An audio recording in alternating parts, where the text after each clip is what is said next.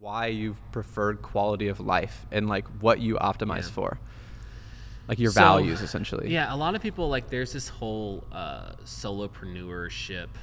Like if you're in the world of Justin Welsh or, or in my world, like there's this whole battle between like should you be a solopreneur or should you like Mm-hmm. go full scale, hire a team, like grow a business? And there's like I hate that there's this debate because it's like you have to pick one or the other. And it's like do whatever the hell works for you. Like there is no right or wrong. Get one assistant if you like, want. Like, like I'm going to talk a lot about solopreneurship. Justin's going to talk a lot about solopreneurship because we're solopreneurs. Mm-hmm. It doesn't mean that like that's going to be the right fit for you.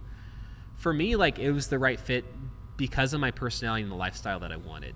Um, I make plenty of money doing what I do. I don't have to work a ton, and I don't have to worry about anybody else.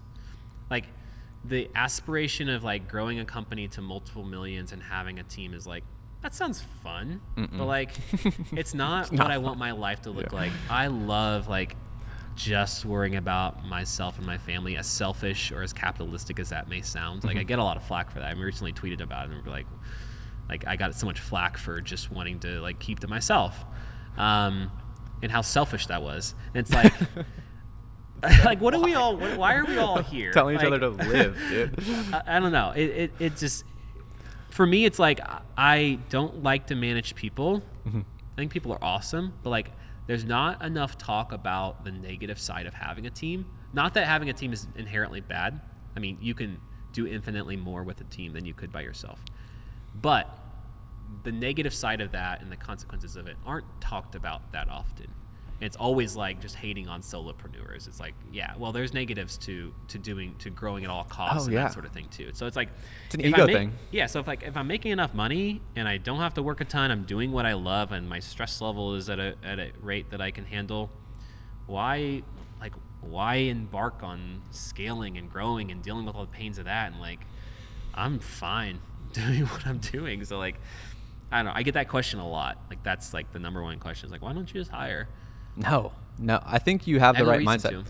It just adds so many more variables and more problems. And Mhm. I think there's like this thing in our culture where if like a company raised a ton of money, how many empl- like they're up to 50 employees. That's like an indicator of like success. When in reality, like that could be a huge indicator of mismanagement. Yeah, yeah. And yeah. that like and it's Yeah, you it mentioned hurt- it on the last video, yeah. Twitter, right? Like they're operating with less now. And It's a huge trend. They're doing just fine, right? Or seemingly doing just fine.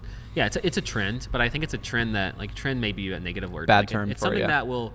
I think people are opening their minds to what's possible with a smaller team when there's not enough, when there's not so much employee bloat Mm-hmm. and too many cooks, cookies in the kitchen. Because like Design Joy, not to like the risk of sounding not humble, but like it does more a month in revenue than most agencies that have 10 or 20 employees. Mhm. It's just me. Like people need to realize what's possible if they streamline their processes and sell it in a certain way, right?